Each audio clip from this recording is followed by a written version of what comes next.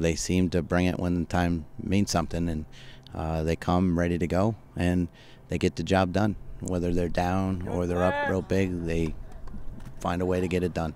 Remember what we did, what we didn't do, and next week just carry on our motivation and our our positive attitudes. I think um, we all are super excited to go as the two seed this time around and play Fairfield our first round. So. Uh, in the end, I think they know they they were MAAC champions last year, and they want to, you know, they want to go out and they they want them to take it away from them. They're still champions until uh, the season's over, and I've said it from the start.